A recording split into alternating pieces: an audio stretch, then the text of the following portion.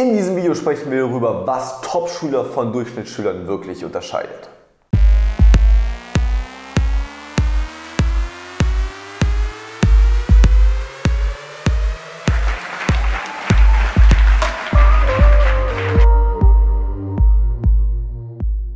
Willkommen zurück, Oberstufenschüler. Hier ist Leo Eckel, der Abiturcoach. Und in diesem Video möchte ich mal darauf eingehen, was unterscheidet diese Top-Schüler wirklich von den Durchschnittsschülern. Und das soll meiner Meinung nach jetzt überhaupt gar nicht wertend sein. Ja? Ich persönlich sage immer, mir ist grundsätzlich erstmal egal, ähm, welche Person welche Noten schreibt. Weil ich bin weder der Meinung, dass Noten ein Zeugnis von Intelligenz sind, noch ein Zeugnis von, wie viel irgendjemand wert ist, sodass es einen irgendwie zu einer besseren Person macht, ähm, eine bessere oder eine schlechtere Note zu schreiben, ähm, sondern meiner Meinung nach sind Noten grundsätzlich erstmal komplett wertfrei. Ja, aber was einfach Fakt ist, wenn du in der Schule bist, ja, dann möchtest du ja meistens auch deinen Job einfach wirklich gut machen. Die Schule ist dann nun mal dein Job in dieser, ähm, in dieser Zeit und dann müssen du auch möglichst gute Noten haben und oder du willst natürlich die auch danach alle Türen frei drei halten, bist einfach stolz sind auf die Leistungen, auf die du erzielst und gegebenenfalls eben auch einfach einen richtig guten Schritt schaffen, um eben auch ähm, zu deinem äh, Wunschstudium zugelassen zu werden. Und genau da ja, genau da ist natürlich wichtig, einfach mal zu verstehen, was unterscheidet denn diese Schüler, wo du das Gefühl hast, hey, die machen immer ihre Hausaufgaben, die melden sich in jedem Unterricht, sagen immer was Gutes, sind bei den Klausuren top vorbereitet, wissen alles, verstehen alles, schreiben top Noten, haben ein super Lehrerverhältnis. Was macht diese Schüler aus? Und was unterscheidet sie vielleicht von, von den Durchschnittsschülern, wo man vielleicht sagen würde, ja, wo vielleicht du dich wieder drin siehst. Ja, vielleicht siehst du dich aber auch in den Top-Schülern drin, aber machst dir super viel Stress. Ja, und auch da, für mich machen Top-Schüler nicht nur der Notenschnitt aus, sondern auch, dass er ruhig ist. Ja, dass er auch, wie soll ich sagen, ähm, einfach auch sein Leben innerhalb der Oberstufe genießt. Ich zum Beispiel, gerade so, als ich dann in der 12., Ende der 12. richtig verstanden habe, natürlich auch bei den Abiturprüfungen dann, ähm, woraus es wirklich ankommt in der Schule, ich dann richtig gute Noten geschrieben habe, da hätte man von den Noten her auch sagen können, dass ich ein Streber gewesen wäre. Aber von der Art und Weise, wie ich gelebt habe, war ich das, das Letzte von dem Streber. Ja? Ähm, weil ich einfach wusste, woraus es ankommt, um in der Oberstufe von einem Abitur sehr gute Noten zu schreiben, habe mir aber nie einen Stress gemacht, ich hatte immer Spaß an der Schule. Ähm, Versteht ihr, was ich meine? Also nicht nur auf der einen Seite sozusagen, hey, ähm, ich bin jetzt, ihr schreibt irgendwie super Noten, sondern auch, ich genieße mein Leben, ähm, habe Spaß an der Schule und all solche Punkte und bin nicht die ganze Zeit gestresst und setze mich unter Druck. Ja, das bedeutet für mich auch Top-Schüler. Deswegen, wo, wo, auch immer du merkst, okay, da, da trifft auf dich nicht Top-Schüler zu, ähm, dass du da überlegst, okay, was kannst du dir da vielleicht auch noch mehr ähm, abschneiden. Jetzt aber erstmal mehr in Bezug auf die Noten. Was unterscheidet die Schüler, die wirklich einfach richtig gute Noten schreiben, von denen die vielleicht, sage ich so, immer so 6, 7, 8, 9, 10, 11 Punkte vielleicht haben und die, wo, man, wo du so das Gefühl hast, du vielleicht selbst vielleicht auch das Gefühl hast, ah, ich würde irgendwie gerne mehr, aber ich weiß gar nicht, wie ich da, wie ich da hochkommen soll. Ja, und das ist schon der erste wichtige Punkt. Die Top-Schüler wissen, was es braucht, um auf diesem hohen Level dauerhaft zu performen. Ja, die wissen ganz genau, was es an Vorbereitungszeit benötigt, die wissen ganz genau, was es an Lernstrategien Sinn macht und die, sind auch einfach, die, die haben auch einfach die Bereitschaft, ähm, auf diesem Level zu agieren. Ja? Und diejenigen, für die 13, 14, 15 Punkte, für diejenigen, für die das ein bisschen befremdlich ist, die sich nicht so mit diesen Noten, Punkten, ähm, wie soll ich sagen, identifizieren können, für, für die ist es meistens so, dass diese Zahlen wirken so ein bisschen, oh, das wäre voll heftig, wenn ich das mal schreiben würde. Ja, das heißt, was ich ganz stark feststelle, ist, dass eine extrem große Differenz in den Standards ist. Ja, ein Top-Schüler, wenn er 13 Punkte schreibt, denkt sich, damn, hätte ich mal, was hätte, was, hätte, was hätte ich besser machen müssen, um 14 oder 15 Punkte zu schreiben. Ja. Ein Durchschnittsschüler, wenn der 11 Punkte bekommt, sagt so, boah, gut. So. Ähm, und das ist grundsätzlich auch erstmal vollkommen in Ordnung, nun musst du auf psychologischer Ebene verstehen, wenn du dir bei 13 Punkten die Frage stellst, was hätte ich noch besser machen können, um 14 oder 15 Punkte zu schreiben, natürlich wirst du in der nächsten Klausur, in der nächsten Mitarbeit wieder einen Ticken besser sein, ja, weil du dich immer weiter push fragst, was kann ich noch besser machen, was kann ich noch besser machen.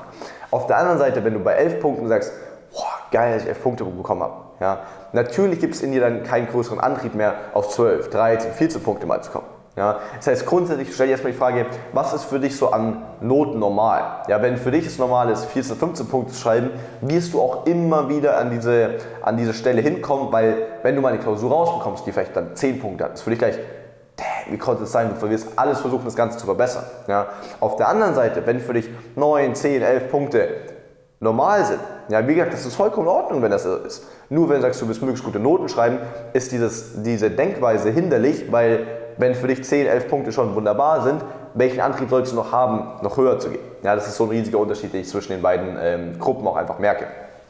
Dann, ähm, ein weiterer Aspekt ist auch, die Top-Schüler, die fokussieren sich nie darauf, was, was, vorbei, was gerade schon vorbei ist. Ja? Das heißt, ein Top-Schüler, und das, das gilt auch an diejenigen, ähm, wo es jetzt nicht nur um die Noten geht, sondern auch um den Stress und den Druck.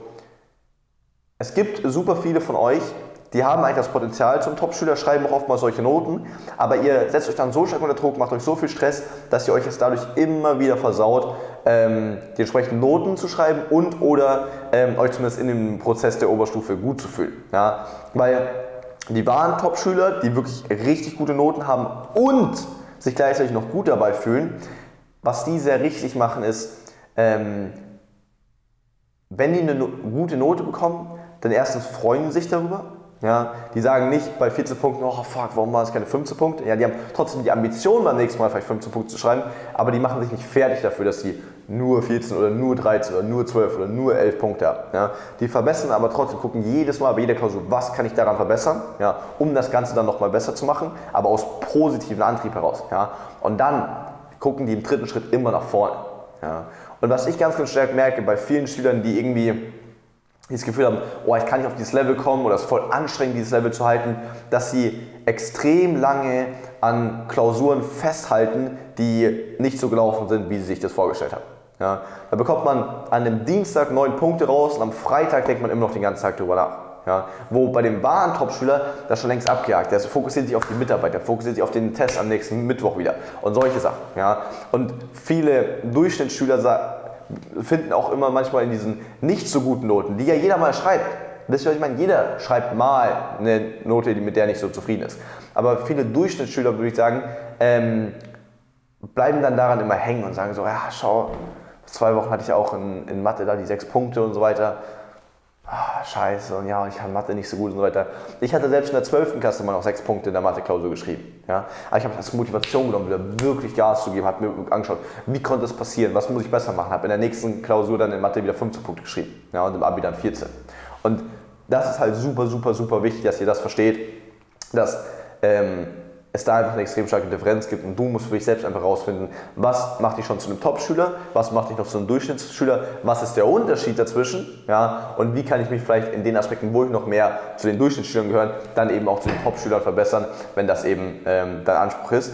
Wenn du das mit meiner persönlichen Hilfe schaffen möchtest und ich dir wirklich all die Dinge mitgeben ähm, soll, die mich dann gerade hinsichtlich meinem ähm, letzten Halbjahr der 12. Klasse und dann vor allem auch im Abitur wirklich zum Top-Schüler gemacht haben, ähm, der die, glaube ich, besten Abi-Prüfungen seiner Schule geschrieben hat, der Freizeit davor hatte, ähm, der Spaß an dem Ganzen hatte, sich keinen Druck gemacht hat, keinen Stress gemacht hat, sondern wirklich einfach Top-Noten geschrieben hat und sich einfach auch sehr gut dabei gefühlt hat, dann bewerb dich sehr gerne bei uns auf unser Coaching. Dafür einfach den ersten Link in der YouTube-Beschreibung nutzen oder den ersten angepinnten Kommentar gebe dir da all meine Strategien exklusiv mit. Wir können das Ganze persönlich auf dich anpassen ähm, und da eben wirklich auch im Detail schauen, was brauchst du gerade noch, um wirklich auch so ein Top-Schüler zu werden, wie ich es gerade eben auch beschrieben habe. Deswegen klick gerne auf die Links, bewerb dich und dann wird sich mein Team bei dir melden und dann schauen wir ganz konkret, wie wir dir weiterhelfen können und ob ich, ich dich gegebenenfalls auch bald persönlich coache.